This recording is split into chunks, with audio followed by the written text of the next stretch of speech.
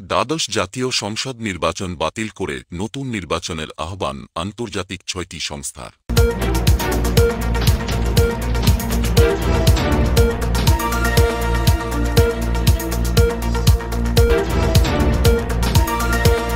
দেশে সদ্য সমাপ্ত হয়েছে দ্বাদশ জাতীয় সংসদ নির্বাচন। এরই মধ্যে প্রতিদ্বন্দ্বিতামূলক হয়নি নির্বাচন, দাবি করেছে ছয়টি আন্তর্জাতিক সংস্থা। এ প্রেক্ষিতে সকল রাজবন্দীদের মুক্তিসহ তত্ত্বাবধায়ক সরকারের অধীনে যৌথ বিবৃতিতে নতুন নির্বাচন দেয়ার আহ্বান জানিয়েছে সংস্থাগুলো।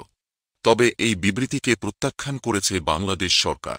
ছয়টি সংস্থার যৌথ বিবৃতিকে অযৌক্তিক, অগ্রহণযোগ্য এবং পক্ষপাত পাল্টা বিবৃতিতে বলেছে পররাষ্ট্র মন্ত্রণালয়। অবাধ, সুষ্ঠু, বিশ্বাসযোগ্য ও শান্তিপূর্ণভাবে সম্পন্ন হয়েছে দ্বাদশ জাতীয় সংসদ নির্বাচন।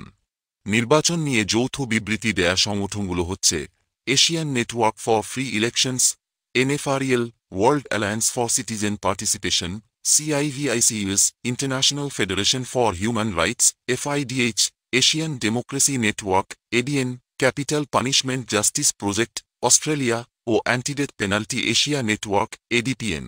নির্বাচনের ব্যাপক অনিয়মের চিত্র, বহু খবর ও তথ্যের প্রমাণ রয়েছে বলে দাবি করেছে সংগঠনগুলো। নির্বাচনের আগে জনগণ ও বিরোধীদের কণ্ঠরোধ, ভয় দেখানো, আইন শৃঙ্খলা রক্ষাকারী বাহিনী দিয়ে মিথ্যা মামলায় আটক করে বিরোধী রাজনৈতিক দলগুলোর নেতাকর্মীদের দমন নিপীড়নের ঘটনাসহ ভোটারদের ওপর চাপ প্রয়োগ ও ভোটের ফলাফলে কারচুপির মতো বিষয় রয়েছে, যা গণতন্ত্রের মূল নীতিসমূহকে ক্ষুণ্ণ করে বলে ওই বিবৃতিতে জানায় আন্তর্জাতিক সংস্থাগুলো। অপরদিকে বাম গণতান্ত্রিক জোট গণতন্ত্র মঞ্চ ও বিএনপি সহ প্রধান বিরোধী রাজনৈতিক দল ও জোটগুলো এই নির্বাচনকে বর্জন করেছে।